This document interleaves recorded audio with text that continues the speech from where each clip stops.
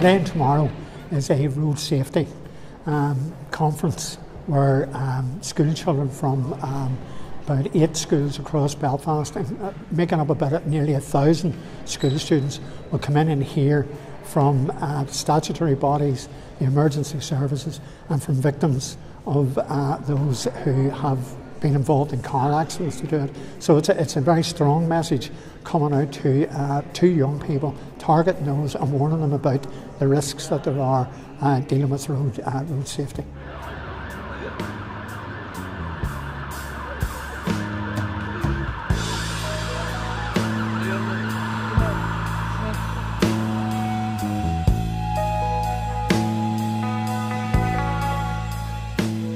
Well, young drivers unfortunately make up a really significant proportion of people who are killed or seriously injured on our roads for all sorts of reasons. They're not experienced.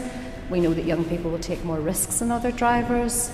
They are susceptible to peer pressure, so they might show off for their friends. They might not put their seatbelt on because that's not cool.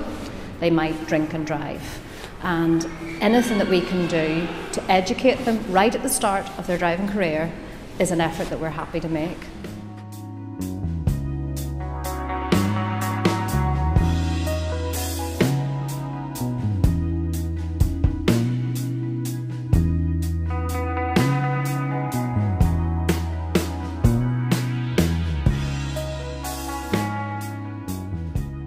I checked the figures this morning, and you know, one of the saddest things when you check figures is you have to remember that behind every single statistic there is a family left behind, there's a life that's wasted.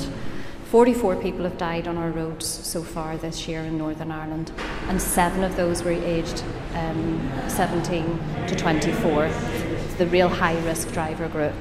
Um, and, and, not even just drivers, pedestrians and passengers and motorcyclists and cyclists as well. So, what we are trying to do at this, particularly this time of year, we're coming up to Christmas. We don't want anybody else to be in that position where they don't have a loved one with them at Christmas. So, never ever drink and drive. Slow down, put your seatbelt on, and put the phone away.